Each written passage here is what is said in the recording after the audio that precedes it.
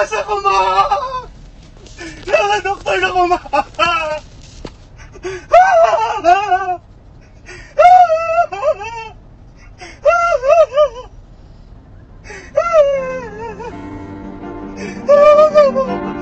Lalabas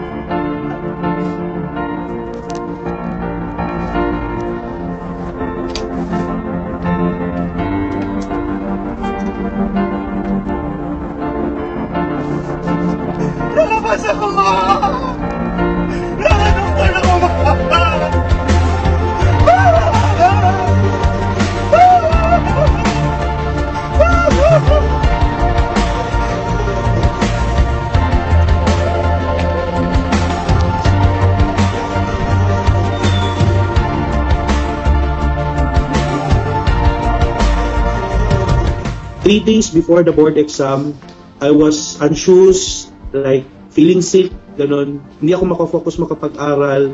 Compared sa first take ko, hindi ako mas prepared nung second take ng PLE. Sinabi ko after the board exam, baka hindi ako papasa kasi sobrang hirap ng board exam.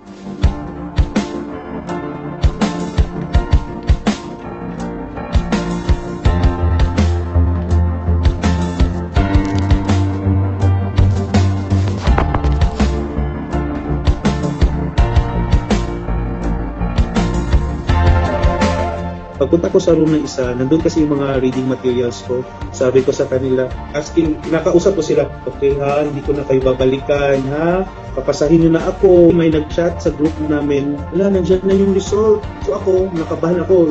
Pero pagkita ko sa name ko, ayun, napaiyak na talaga ako.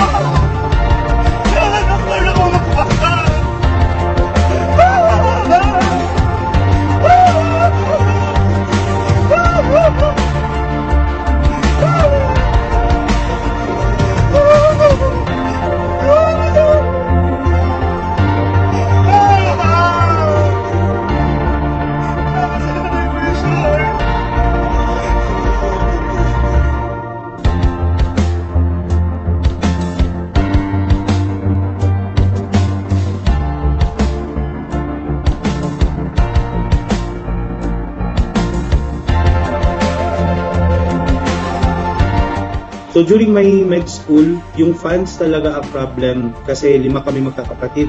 Nag-initiate ako, nagbenta ako ng stethoscope, nagbenta ako ng book bags, ng mga folding na ilalagyan ng libro.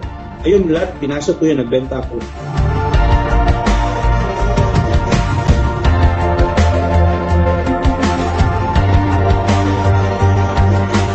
Gusto mo talaga maging doktor, ano yung gusto mo maging, ipagpatuloy mo yan, mag-study ka, mag-aral ka ng mabuti, tiwala lang talaga sa Diyos, at saka dapat may suporta talaga sa family na ibubus yung ano mo, confidence mo na mag-take ng board exam.